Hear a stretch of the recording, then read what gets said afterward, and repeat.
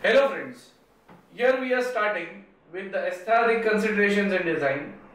Now when we talk about aesthetic considerations, see the word aesthetic means visually appealing. So it means if we are designing any component, we will not design that component only based on its functional requirement. Apart from its functional requirement, it must also look appealing. It must look pleasing. So, aesthetic consideration, I can see that it is considered while designing any product in order to make it look visually appealing.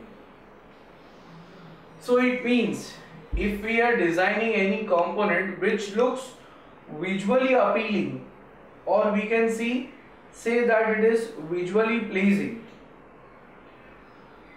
then we will say that aesthetic considerations have been taken care of because in today's world if we see any component there are a number of designs available and from that we select those which are functional as well as aesthetically appealing. So here in aesthetic consideration I can even say that I can give the example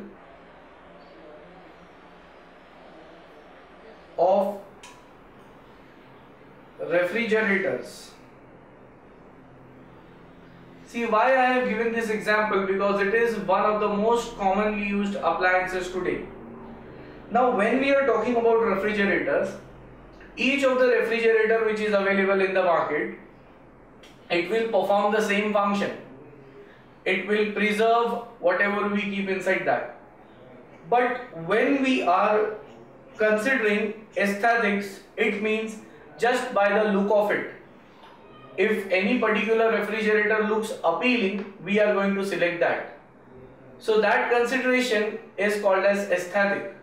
Similarly, in case of mobile phones or cell phones, here also apart from the functional requirement, we select that cell phone which suits us.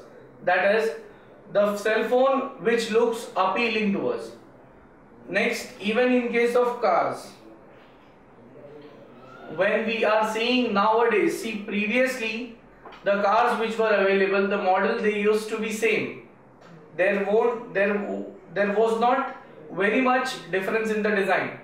But if today we see there are number of variations of cars which are available, different design, different colors, different shapes, and even different materials.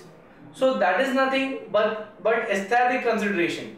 A car apart from running, apart from carrying people from one place to another, it should also look appealing. And the color, the texture of the car should be such that just by looking at the car, we must feel like buying it. So this is another consideration which is considered in case of design. That apart from its requirement, its working, we must also see how it looks. Next, even in case of aeroplanes,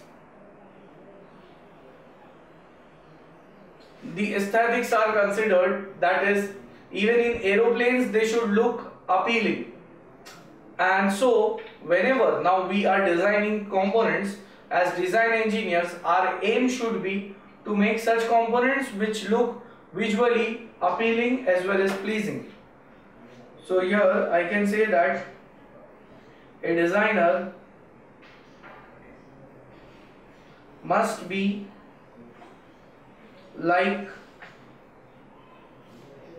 a fashion stylist or a fashion designer. So here an engineer who is working as a design engineer, he must also have the knowledge of various kinds of design, various styles. So his work becomes equal to that of a fashion stylist or a fashion designer. I hope in this video the aesthetic considerations of design is understood.